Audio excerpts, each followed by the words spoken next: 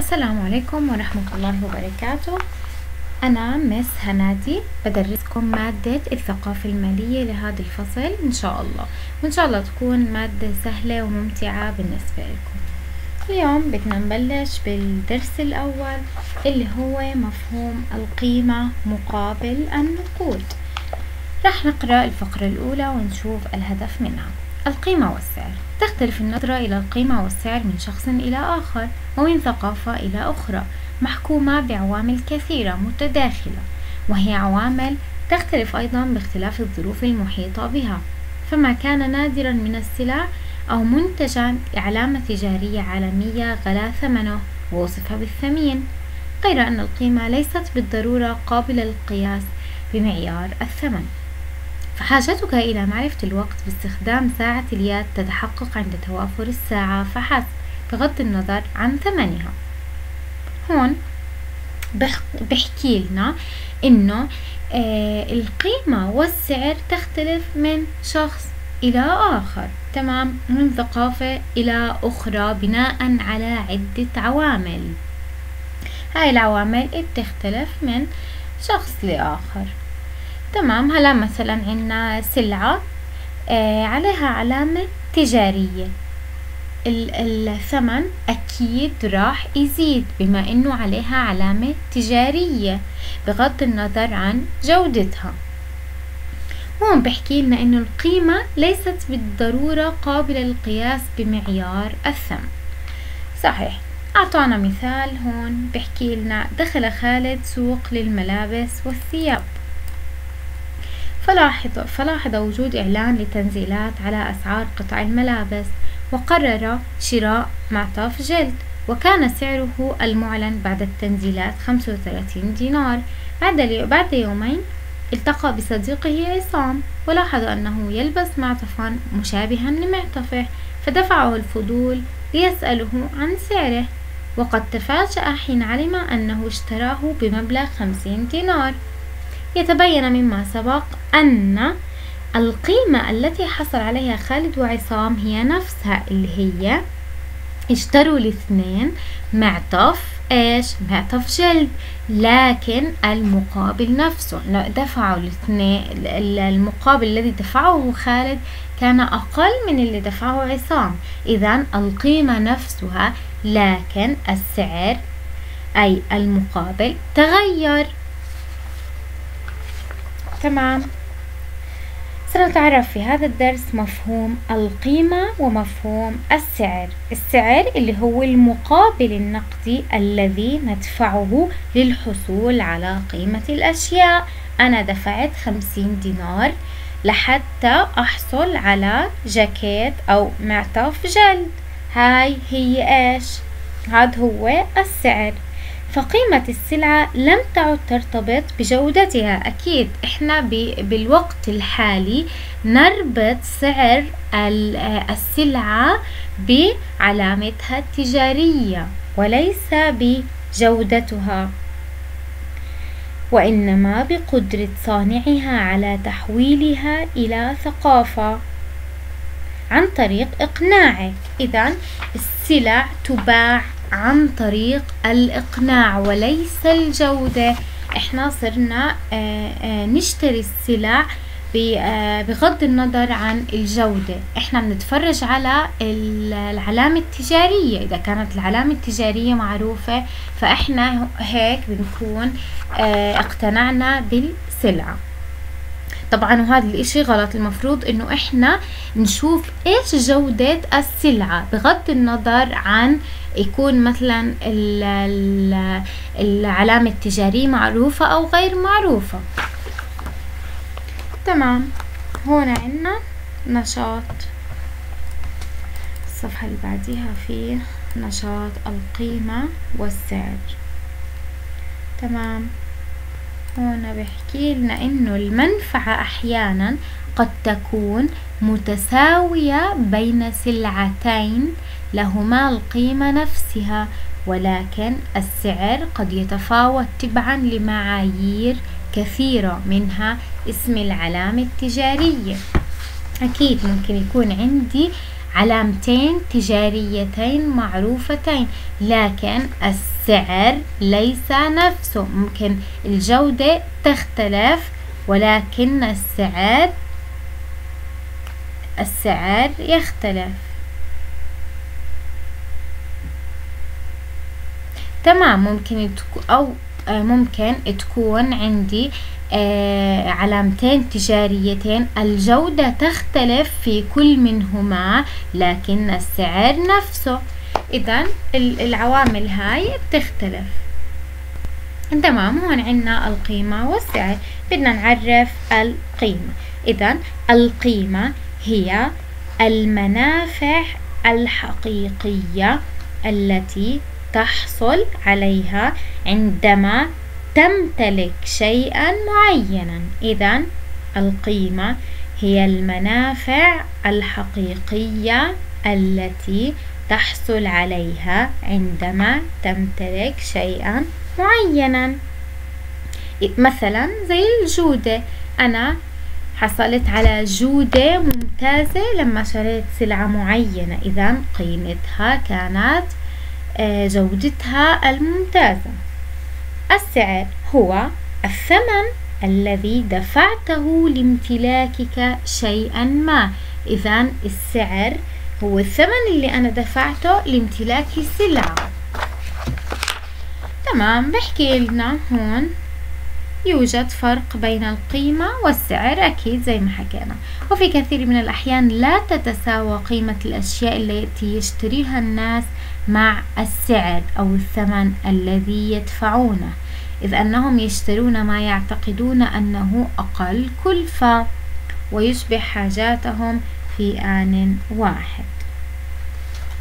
فطبعا أنا أحيانا مثلا بشتري شغلة آه، أو أو سلعة مثلا آه، سعرها عشر دنانير و, و آه، بصير أفكر إنه ممكن هاي السلعة تكون منيحة أو ممكن تلبي احتياجاتي لكنها ممكن تكون الجودة تبعتها أبدا مش منيحة.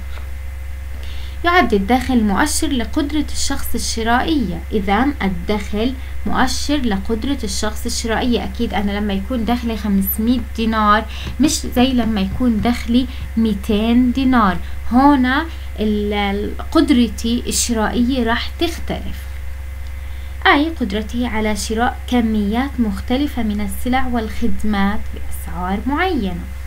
أما القوة الشرائية هون عندي تعريف. القوة الشرائية حطوا لي تحتها خط تشير إلى مقدار السلع والخدمات التي يمكن للشخص أن يحصل عليها مقابل دخله. إذا القوة الشرائية تشير إلى مقدار السلع والخدمات التي يمكن للشخص أن يحصل عليها مقابل دخله. وعليه فإن لهذا المفهوم علاقة. إذا عنا هون علاقة بتحكي لنا مستوى الأسعار العام. كلما ارتفع ارتفعت الأسعار انخفضت القوة الشرائية. إذا إيش العلاقة بمستوى الأسعار العام؟ إذا كلما ارتفعت الأسعار انخفضت القوة الشرائية. ومما يؤكد ذلك أن الإنسان قديما كان يبتاع بدينار أصناف عديدة لكن الآن بدينار لا يبتاع به سوى, سوى صنف واحد. إذا تعريف الدخل هو مبلغ زي ما حكينا هو مبلغ من النقود يحصل عليه الشخص من مزاولة عمل ما. أنا بعمل بوظيفة معينة آه، أحصل مقابلها على دخل الدخل اللي هو الراتب. تمام.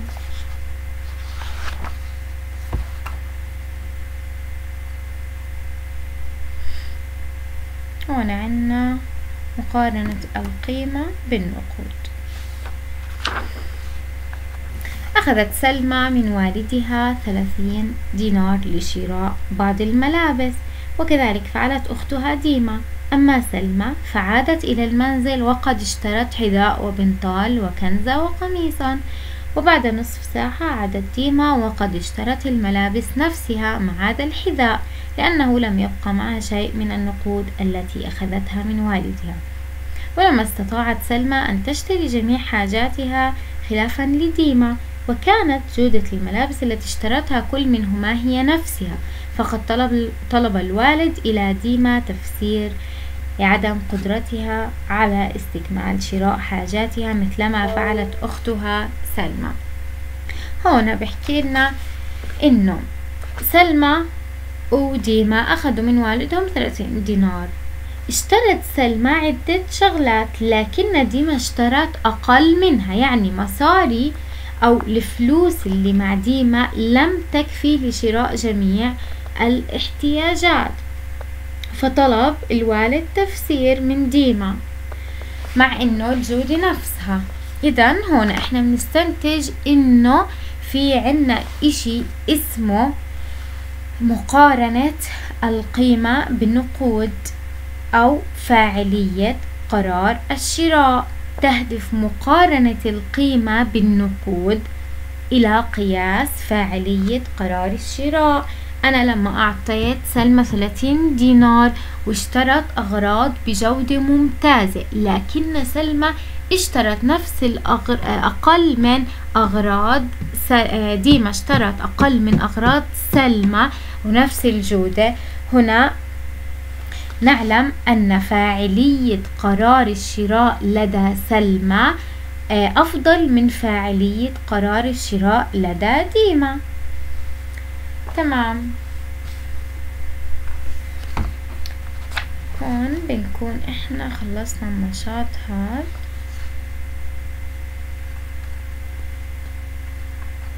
هون عنا نشاطات برضو.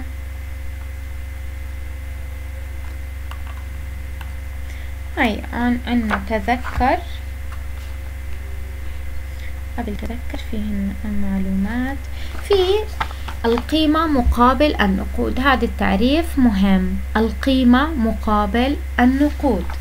وهي تعني الإفادة من القيمة الكاملة والمنافع الحقيقية لكل مبلغ من النقود أنفق على شراء سلعة أو خدمة أو الحصول على أكبر قيمة وأفضل النتائج.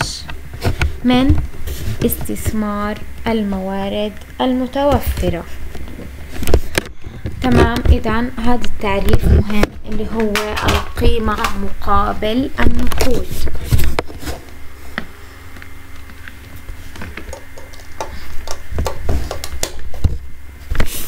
والمنافع الحقيقية لكل مبلغ من النقود أنفق على شراء سلعة أو خدمة. تمام هون بدنا نتذكر القيمة. حكينا القيمة هي المنافع الحقيقية التي تحصل عليها عندما تمتلك شيئا معينا. أما السعر فهو الثمن النقدي الذي تدفعه لقاء امتلاك شيئا ما. تمام. يقيس الدخل قدرة الشخص الشرائية. أكيد زي ما حكيت أنا لما يكون راتبي 200 دينار ليس مثل لما يكون راتبي 500 دينار. قدرتي الشرائية راح تكون أقل. بالتأكيد أي قدرتي على الحصول على كميات مختلفة من السلع والخدمات بأسعار معينة. أما القوة الشرائية هاي مهمة فتعني مقدار السلع والخدمات التي يستطيع الشخص أن يحصل عليها مقابل دخله. وعليه فإن لهذا المفهوم علاقة بمستوى الأسعار العام. عندي هون علاقة. كلما ارتفعت الأسعار انخفضت القوة الشرائية أكيد. ومما يؤكد ذلك أن الإنسان قديما حكينا كان يبتاع بدينار عدة أصناف والآن الدينار لا يبتاع بها سوى صنف واحد.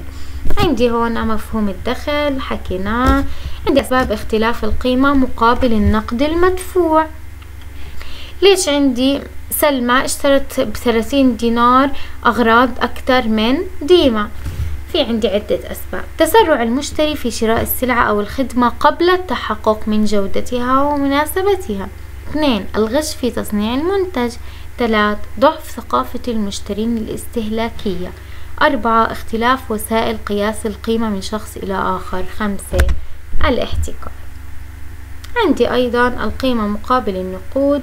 تعني الإفادة من القيمة الكاملة والمنافع الحقيقية لكل مبلغ من النقود أنفق على شراء سلعة أو خدمة أو الحصول على أكبر قيمة وأفضل النتائج من استثمار الموارد المتوفرة.